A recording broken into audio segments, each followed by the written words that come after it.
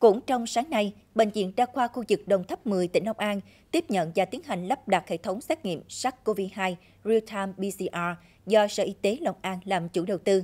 Nguồn kinh phí từ ngân sách tỉnh.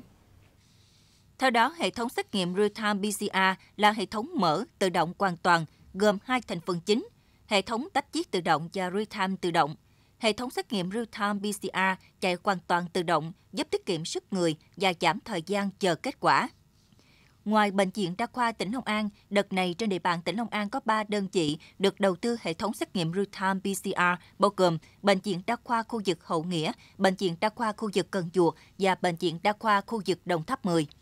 Với việc được hỗ trợ hệ thống xét nghiệm real-time PCR, ước tính trung bình mỗi ngày, một hệ thống real-time PCR sẽ xét nghiệm được khoảng 250 mẫu đơn và không phải mất thời gian gửi mẫu đi thực hiện xét nghiệm tại Bệnh viện Đa khoa Long An.